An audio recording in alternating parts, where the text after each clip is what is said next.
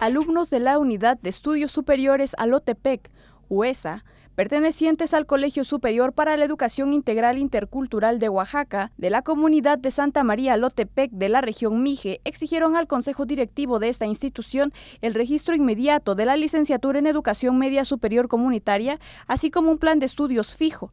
De igual forma, pidieron que se respeten sus derechos como estudiantes y jóvenes indígenas.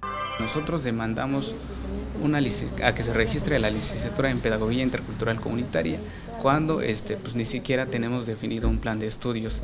Eh, nosotros empezamos cursando con, el plan de estudios de la licenciatura en Educación Media Superior Comunitaria. Posteriormente este, se, ha venido este, cambiando, se ha venido cambiando a tres, este, tres, tres licenciaturas que digamos. La segunda es este, licenciatura en Pedagogía Intercultural Comunitaria y resulta que hay otra licenciatura en Educación Intercultural Comunitaria.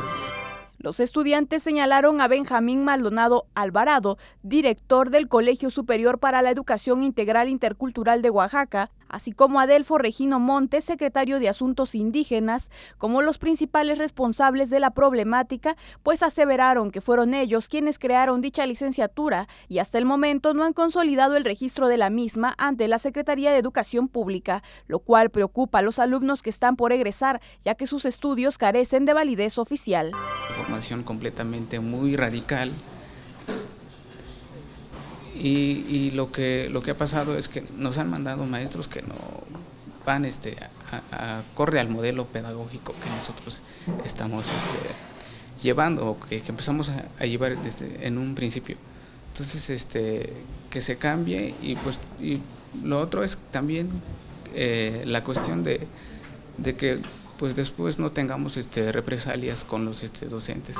Para concluir, los afectados explicaron que el Consejo Directivo del Colegio Superior para la Educación Integral Intercultural de Oaxaca firmó una minuta en la que se comprometió a dar respuesta a más tardar el 29 de abril, por lo que advirtieron que de no recibir respuesta favorable a su pliego petitorio para esta fecha, tomarán otras medidas de presión. Hay organizaciones que nos respaldan, entonces este pues es importante aclarar que no estamos solos. Eh, claramente se dijo que si en la fecha no se cumplen, bueno, no se cumplen los acuerdos que se tomaron en la minuta de acuerdo, pues se tomarán otras medidas. Entonces ya tenemos como, también ya estamos este, planeando cuál va a ser nuestro plan de ataque, por decirlo así. Con imágenes de Osvaldo Mijangos para MBM Televisión informó Patricia Aguilar.